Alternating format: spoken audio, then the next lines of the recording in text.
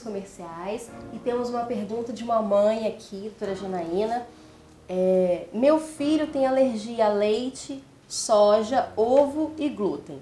Tem dois anos de idade e está em dieta desde os três meses. Creio que ele está curado do leite e só tem intolerância, mas tenho medo da introdução. Como iniciá-la? Então, como eu disse no bloco passado, a introdução alimentar ela tem que ser feita de maneira supervisionada pelo profissional e pela família. Isso que ela está perguntando aí é o teste de provocação oral. É depois que a gente suspende o alimento da vida da criança e a gente vai tentar recolocar esse alimento novamente na vida da criança para poder ver se ela já consegue comer sem reação. Isso tem como ser feito em casa, só ela procurar um profissional responsável que vai orientar ela direitinho para poder fazer isso, vai orientar ela quais os riscos, o que, ela tem que observar e o que, que ela tem que fazer em caso de reação. Essas introduções alimentares de teste de provocação oral elas são feitas com pequenas quantidades do alérgeno, entendeu? Então é tudo muito, muito caracterizado para esse tipo de introdução. E quanto mais rápido então ela fizer essa teste de provocação oral, mais chance a criança tem de aceitar esse alimento. Então eu acho que mesmo com medo, ela procurando um profissional, ela tem que fazer essa, essa provocação do, do alimento que estava excluído. Uhum. Tem outra pergunta de uma mamãe aqui. É, meu filho tem nove meses e quando ingere qualquer coisa com leite, vomita e fica cheio de bolinhas vermelhas. A pediatra disse que é alergia ao leite e pediu para dar leite de soja, mas ele não aceita. Tem outro tipo de leite que eu possa oferecer? Então, a criança faz vômito, que é o órgão-choque do trato gastrointestinal, né? Faz dermatite, que são as bolinhas na pele. É um quadro clínico bem suspeito de alergia à proteína do leite da vaca, foi bem orientado à exclusão. O leite de soja é uma opção a princípio para poder a gente tentar fazer, mas existem inúmeras outras opções. Se a criança, é, ela pode comer, tomar leite de arroz, tem o Nova Mil Rice, que é uma proteína do arroz que tem agora, que é uma fórmula infantil. Existem as fórmulas hidrolisadas, as parcialmente hidrolisadas e as totalmente hidrolisadas. Então existem outros leites que ela pode fazer e existem algumas coisas que a gente pode misturar no leite também para as crianças aceitarem melhor. Para ter um gostinho, né? Isso, exatamente. Por exemplo, o Vitalon, ele é isento de proteína do leite e ele tem vários sabores, então ele ajuda bastante a criança e com nove meses a criança já pode usar porque ela já consegue digerir esse carboidrato. E existem, a gente pode fazer mamadeira com fruta, que também dá uma camuflada nesse gosto do leite diferente. Então a gente tem várias maneiras dela tentar fazer com que ele aceite esse leitinho de soja para poder tentar fazer essa exclusão, ele melhorar, estabilizar a alergia e depois fazer o teste de provocação de novo para fazer o diagnóstico.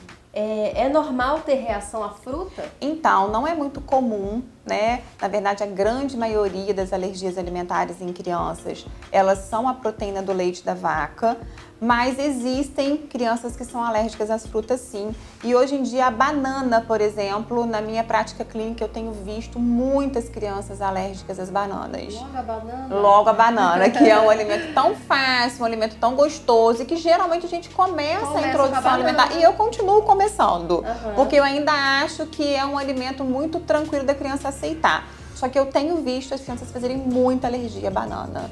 Então acho que a gente tem que ficar bem de olho nisso. Inclusive, ela já faz parte do meu rol de primeiro pedido de IgE. Eu já incluí ela porque ele tem visto muito resultado positivo. Incrível, né? É, é uma surpresa a banana.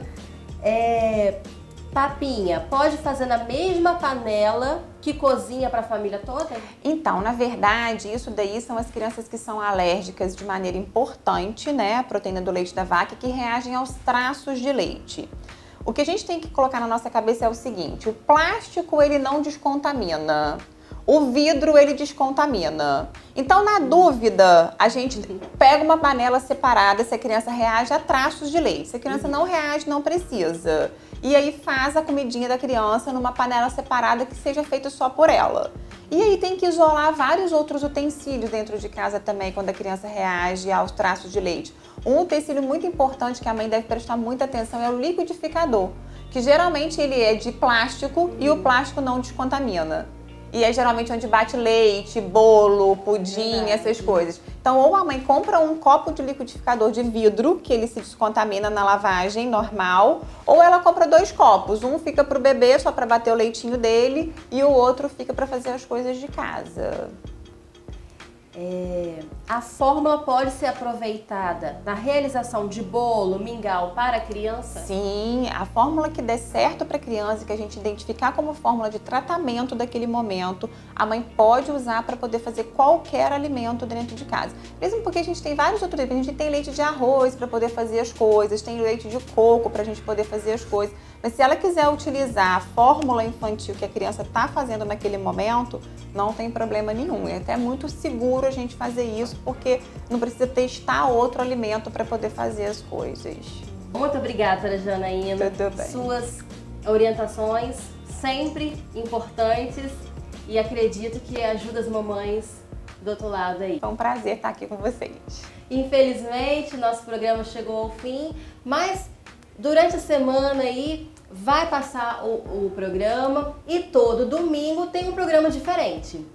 Um beijo e fique com Deus.